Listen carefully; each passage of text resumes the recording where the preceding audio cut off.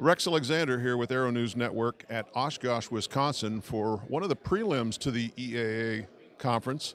Uh, here with our good friend Angelo Collins from the Vertical Flight Society, the new executive director. And uh, Angelo, with uh, with the EAA uh, AirVenture, this is this is a prelim, and this is um, with the Vertical Flight Society putting on a specific and very uh, targeted uh, symposium. Can you tell us a little bit about the Vertical Flight Society, uh, who who who they are, and uh, what their members represent in this industry? Yeah, absolutely. So again, thank you this time. So Angelo Collins, I'm the new executive director of the Vertical Flight Society. Vertical Flight Society is now over 80 years old. Originally, it was called the American Helicopter Society, founded in 1943. And so I became the executive director in June of this year, 2023. The Vertical Flight Society advocates for the advancement of vertical flight.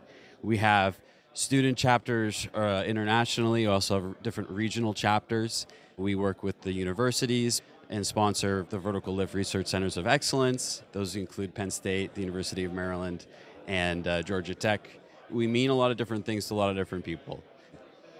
So this weekend we're doing specifically the uh, Electric Aircraft Symposium. What do you think so far? We're through day one into uh, part of day two. What kind of numbers are you looking at, and have you met expectations?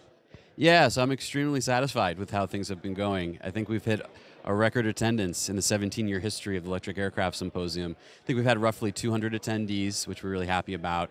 And we've had some exceptional presentations from some of the pioneers in this domain, including representatives from Joby, Archer.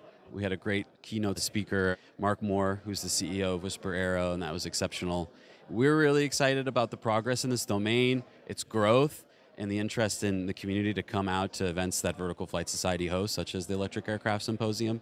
We're really happy with things, how things have gone so far. So, if anyone's interested in the Vertical Flight Society, they can become a member.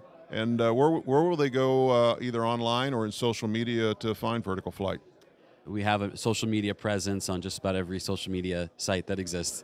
I think we're most active on Instagram and Twitter, LinkedIn. We have a YouTube page. We have a website, evtol.news, that also gets about a million hits per year. It has a directory of the different electric aircraft. Uh, I think we're at over 800 different designs.